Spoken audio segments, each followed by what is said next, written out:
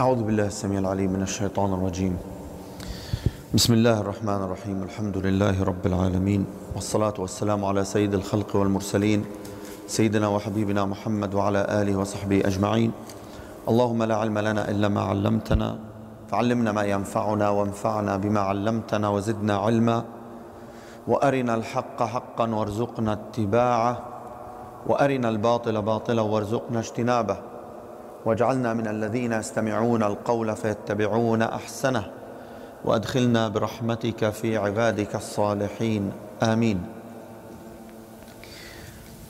Today I'm to start inshallah with the seerah of Umar ibn al-Khattab radiyallahu anhu the second Khalifa after the Prophet sallallahu alayhi wasallam It was really amazing story the story of Umar ibn al-Khattab how he started his life and how he ended how he was changed completely because of Islam. So let's begin with the definition with his ID so Umar radiyallahu anhu his name is Umar ibn al-Khattab. So al-Khattab is his father. And al-Khattab is the son of Nufail ibn Abd al-Uzza ibn Ka'b ibn Lu'ay ibn Fihr. So the amazing with this chain that his fourth grandfather is the same fourth grandfather of the Prophet sallallahu alaihi wasallam. So both have the same fourth grandfather. So they are relatives. And his mother, subhanallah, she is the cousin of Amr ibn Hisham, who is Abu Jahl. So Abu Jahl considered as his uncle from his mom's side. And Khalid ibn al-Walid is considered as his cousin from his mother's side. So this really, you know, reflect how this family really was very noble. And he is from tribe called Bani Uday. And he was in charge before Islam to be the ambassador for Quraysh. So he was the one who is representing Quraysh if they have any issue with other with other tribes and if there is any dia concerned or any argument between Quraysh and other tribes so Umar, he is the one in charge to deal with it. So now you understand how really was Umar representing the most strongest and the leaders of the Arab, and that is Quraysh. For sure, it was narrated that Umar used to worship idols before Islam and used to drink khamr. One time Omar said that I I was at home and it was cold. So I felt that I want to worship my my idol. So he don't want to go outside and he don't have an idol at his home. So he make an idol from dates. And Omar said, after a while, I don't have food in my home. I get hungry and I eat it. So one from the Muslimin, young man, he asked him, Ya Amir al-Mu'mineen, is that really that you used to worship these idols? You don't have mind? So Umar ibn Khattab answered look to this question. He answered, Yes, we have a mind, but there is no guidance. And this is the truth. Many people, they have mind. They are having PhD degrees. They are having doctor degrees. They are having high level of education, but they are in shortage of guidance. This is the very important thing. When you lose guidance, your knowledge doesn't help. Doesn't help. It is very important that we acquire guidance, and that's why it is important when we always recited Surah Al-Fatiha, Allah subhanahu wa ta'ala, He make it, you know, enforce on every prayer. You have to read Surah Al-Fatiha and we have to ask Allah guidance every day, 17 times minimum, every day. Without the guidance of Allah subhanahu wa ta'ala, we will be lost. And this is what happened with Umar and with everyone. Once they lose the guidance, they lost. And many of the companions, if they were stay on the non-Islam, on the ignorance, like Abu Jahl, like Umayyah ibn Khalaf, who knows about them? Nobody knows. The history doesn't write anything for those people. But look to Umar ibn Khattab, look to Sa'd ibn Abi Waqqas, look to Sa'd ibn Mu'adh. After they embrace Islam, their life change and they have a bright pages in the history. So Islam changes people to the best and Islam takes out the best from you and present it to people to help the communities and to help the nation. So his birth was 13 years after the year of the elephant. So do we know the year of elephant? It was the year when Abraha al-Ashram came with the big elephant trying to destroy Al-Kaaba. So on that year, the Prophet ﷺ was born. And two years after, Abu Bakr as-Siddiq was born. But Umar radiallahu anhu, he was born after that year by 13 years. So the difference in age between Umar and the Prophet ﷺ was 13 years.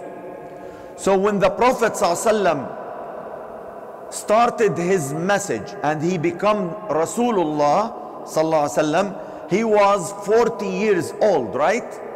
So Umar ibn Khattab was 27 years old. And Umar ibn Khattab accepted Islam after six years from the Prophet ﷺ message, which means so Umar 27 plus 6 he was 33 years old when he accepted Islam. So what happens during these six years? So as I mentioned, his father was not so famous, but he was tough and he was having no specific leader rule in Quraysh. Instead, Umar was having that rule because Umar was a, a very good speaker and a loud voice and he was a wise man. He used to go all the time to the desert taking care of, of, the, of the camels which he has and he used to train himself always which is amazing from Umar he used to train himself when he used to stay alone with something very odd very odd. You know, at that time, very few people who knows how to read and write. One of them was Umar.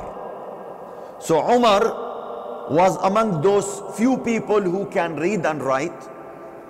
But what was Omar training himself when he was alone? To train himself to write in both hands. Can you try that? It's really incredible about Omar. He can write in both hands. And both hands are right for him. About his marriage, he married many women before Islam. And when he accepted Islam, and Allah subhanahu wa ta'ala revealed this verse, وَلَا تُمْسِكُوا بِعِصَمِ الْكَوَافِرِ means if you have a wife which is not Muslim, you shouldn't keep her with you. So Umar at that time was having three women, three wives. So he asked them to accept Islam, they refused. He divorced the three of them in the same night when this verse revealed to the Prophet ﷺ. So he divorced three of them at the same time.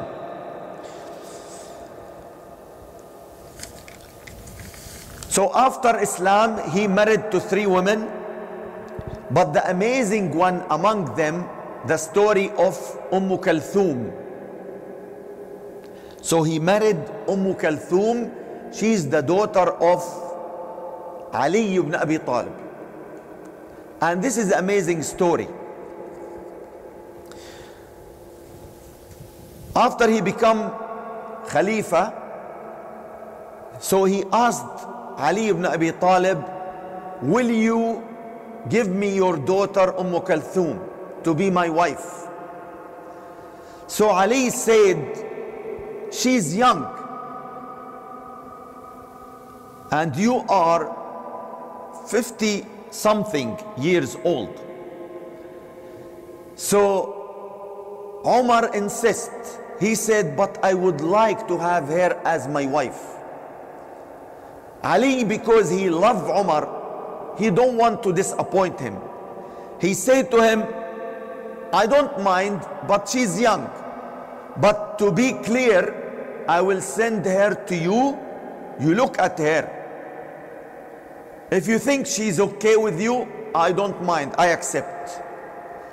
But indeed, Umar, he wants to have this marriage because he has something in his mind. So he saw Umm Kalthum and he accepted and he told Ali, yes, indeed, I want her to be my wife. So he get married to Umm Kalthum. After he write the nikah, so he came to the Muslimin and he give them the speech. And he told them, you are saying that Omar married to a young girl. I know you are saying that. I'm not hiding this.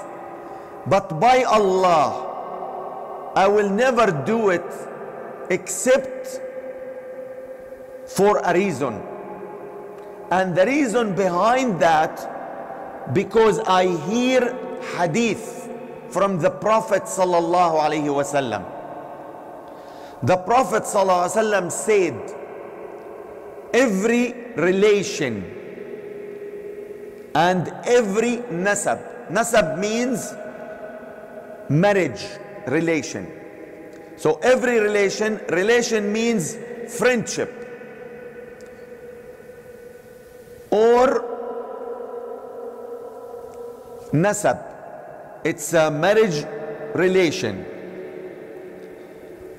And every sahar, sahar means you become his daughter's husband.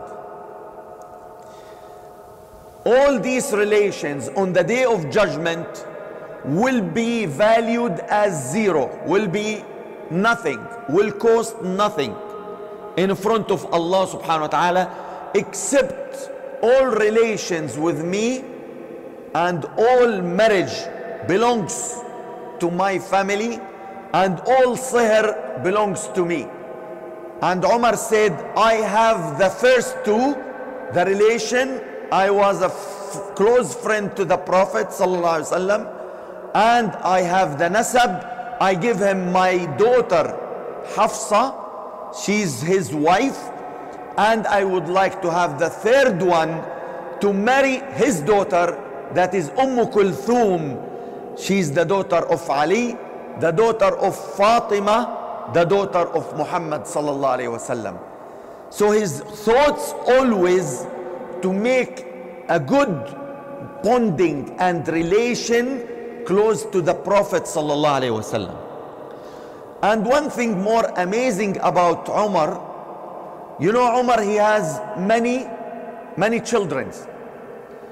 So among his children, he has three children called Abdul Rahman. Three children, he named them Abdul Rahman. So in order to make a difference, so he named the first one the elder Abdul Rahman, and then the middle Abdul Rahman, and then the youngest Abdul Rahman. So they asked him, why you give the same name to three of your children? He said, by Allah, the Prophet said, the most beloved names to Allah is Abdullah wa Abdul Rahman. So I love Abdul Rahman name. I have three wives. Whenever I go to every house, I would like to hear this name in my house. So his always attitude is to please Allah subhanahu wa ta'ala and to make more close relations with the Prophet sallallahu alayhi wasallam. So his titles, the names given to Umar ibn al-Khattab radiallahu. You know, we are in this time, we are proud of our titles like doctor or PhD or engineer or a lawyer or a teacher. So this is our titles. But look to the titles of Umar ibn al-Khattab. It's completely different than ours. So the first title he was given by the Prophet ﷺ, he named him Aba Hafs. Aba Hafs. And it means in Arabic, Hafs means the son of the lion. Means lion. So the reason why he was given this name in the battle of Badr, the Prophet ﷺ told the companions, if you saw my uncle Al-Abbas, don't fight him and don't kill him. So if you don't remember, I will just refresh your memory. So Al-Abbas radiallahu anhu, he accepted Islam before the Prophet ﷺ immigrated to Medina. But he kept his Islam secret in order to deliver the news of Quraysh to the Prophet ﷺ. And the Prophet ﷺ, he don't want to expose Al-Abbas to Quraysh. Otherwise, Quraysh will kill him if they know that he is delivering news to the Prophet. So that's why the Prophet ﷺ told his companions, don't fight my uncle. So one of the companions, he said, how come we are fighting our fathers and our sons in this battle because they are non-Muslims and the Prophet asked us not to fight his uncle. So here the Prophet ﷺ looked to Umar and he said, O Aba Hafs, would you accept that the uncle of your prophet will be killed? Even he was forced to go to this battle. He wasn't, he don't want to come this battle, but he was forced by Quraysh leaders. Then Umar said, No, Ya Rasulullah, by Allah, I will not accept that. So the people who don't know the story behind it, they will find, yeah, this is odd. How come the Prophet ﷺ will let us to fight our fathers, the mushrik fathers, and the mushrik sons, while he don't want this to happen to his uncle. But his uncle was Muslim, but nobody knows that he was Muslim.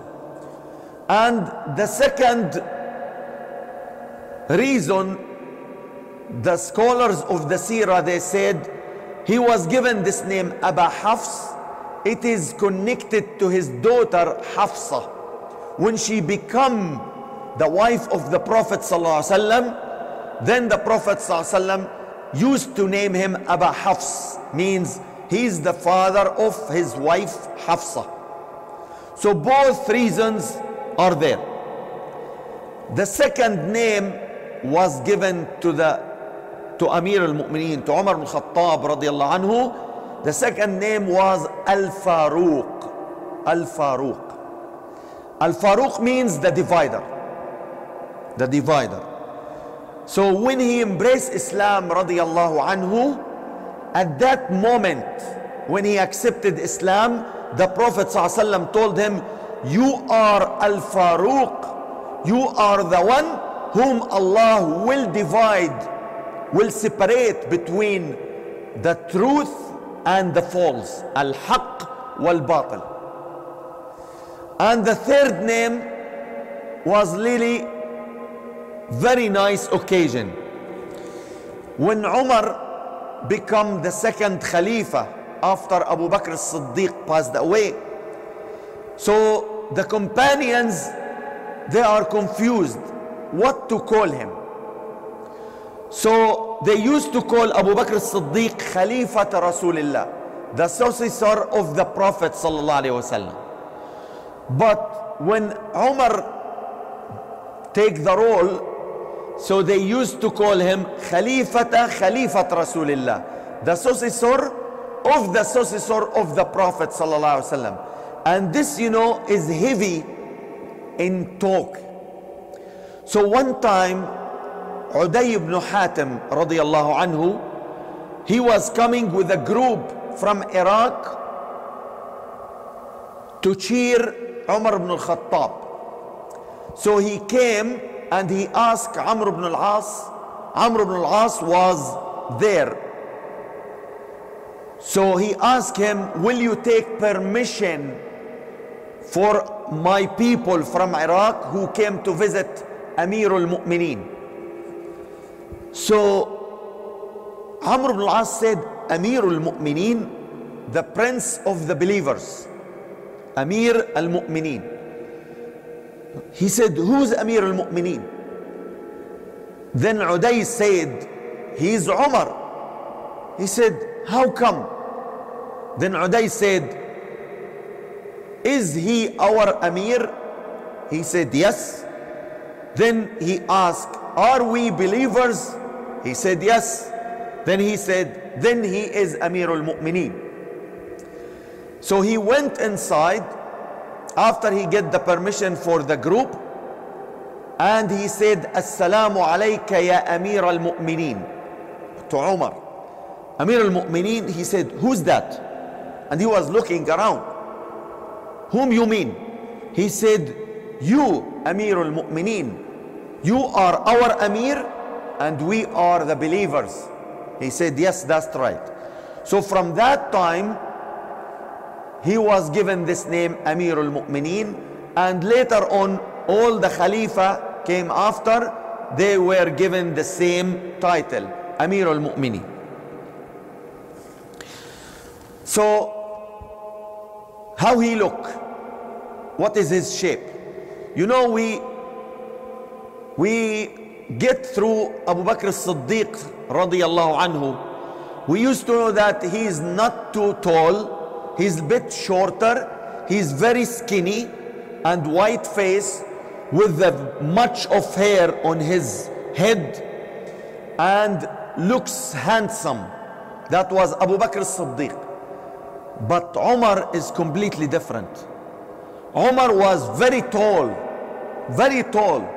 And they used to say, when you look to Umar walking, you think that he is riding a camel. Now you, you can imagine how tall he was. And he was very strong with the big muscles. And he was no hair. He has no hair. But he has a big mustache. A big mustache. And he was having a white skin. Going to redness white to red but some of the scholars of Sirah they used to say Omar become black. And the reason why he become black in the year of Ar-Ramada they call it the year of Ar-Ramada the year of the starving at that year there was very less rain and there is a shortage of food and people they they suffer from hunger. So Umar radiallahu anhu he swear that he will never eat any kind of flesh or fat until all the believers will eat. So his food was only bread and oil. That's it. Bread and oil. And because of this, his skin color becomes dark. And he becomes very skinny. So it was narrated that the believers they used to do the dua to Allah subhanahu wa ta'ala to ease that year not because of their starving but indeed because of Umar ibn Khattab, how he turned into that shape. So Umar ibn Khattab was having a very loud voice. So the scholar said, if you are not aware that Umar is talking and suddenly Umar talks, you will feel faint, scared because of his voice. So his voice was very loud very loud. And one time, when he was the Khalifa, a man asked him, Ya Amir al Mu'mineen, which one is better? To be a very heavy hair or without hair? By the way, the Arab on that time they think that the one without hair is more wise and more noble. So that fellow, he asked him, which one is better? The one without hair or the one with the heavy hair? So Umar think Abu Bakr as-Siddiq was a very heavy hair while Umar without hair. So the Arab think the opposite, right? So he said, the one with hair is the best. He meant Abu Bakr as-Siddiq. When the things come to Abu Bakr, there's no challenge. There's no challenge. One time, a group from the companions sitting with Umar. You know, Umar, he did a lot of things for the Muslim Ummah. And one of them he said, By Allah, you are the best one we have ever seen. Umar looked very angry to him. Then somebody, someone else, he told, No, we have seen who is better than you. Then he asked him, Who's that? He answered, He was Abu Bakr as-Siddiq. Umar replied, You said the truth, and all of you has light. So when it comes to Abu Bakr as-Siddiq, Umar, he lean his head and he admit and he used to say, I wish I am only one hair in the chest of Abu Bakr as-Siddiq. I will never race again with Abu Bakr as-Siddiq because Abu Bakr used to win the race all the times. So this is the identity for Umar bin Khattab. Inshallah, the next halaqa will be about how he embraced Islam. And that is really an amazing story. How he turned from being kafir to a Muslim. But keep in mind, it won't happen suddenly. There is some occasions because Allah subhanahu wa ta'ala wants to guide him. So there is occasions, incidents happened in his life which lead him step by step to go to the Prophet ﷺ and declare his Islam. Inshallah we'll talk about it in the next حلقة. والحمد لله رب العالمين. اللهم اجمعنا على ما يرضيك. واجعلنا من المتحابين فيك. اللهم اجعل جمعنا هذا جمعا مباركا مرحوما. وتفرقنا من بعده معصوما. ولا تجعل منا ولا فينا شقيا ولا محروما.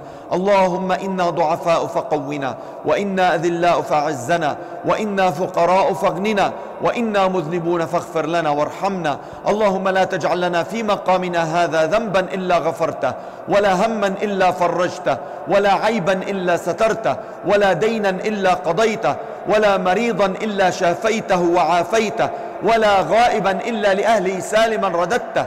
ولا حاجة لنا من حوائج الدنيا والآخرة إلا يسرتها وقضيتها يا قاضي الحاجات يا مجيب الدعوات.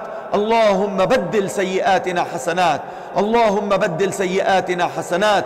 اللهم إنا نسألك صحبة حبيبنا محمد صلى الله عليه وسلم. يا رب قد حرمنا صحبته في الدنيا فلا تحرمنا إياها في الآخرة. اللهم اجمعنا به على خير واجعلنا أهلا لشفاعته وأوردنا حوضه.